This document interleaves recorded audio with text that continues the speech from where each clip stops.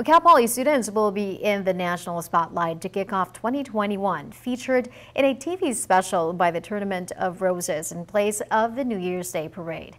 KSBY's Christina Favuzzi talks with the float team's president about this year's unusual process. A Mustang tradition 73 years in a row. It's been a really big part of my college experience. Senior Madison Tony joined the Cal Poly Rose Float program as a freshman, now serving as team president. It's taught me so much about myself, but also like how to work with others on such a large project, especially like when half the team is hundreds of miles away.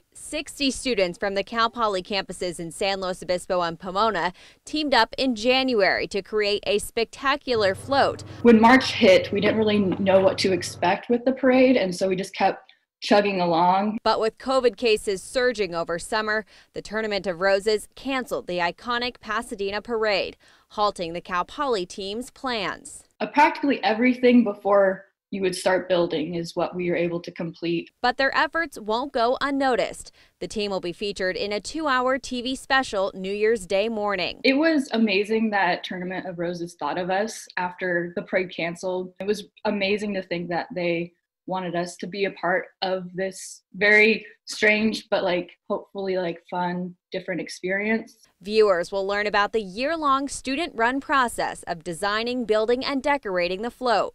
And while next year remains uncertain, Tony and the team are optimistic their float will eventually roll down Colorado Boulevard. There's a lot of great creative minds and I think they will do well next year and hopefully pick up right where we left off and produce another amazing float. Christina Favuzzi, KSBY News.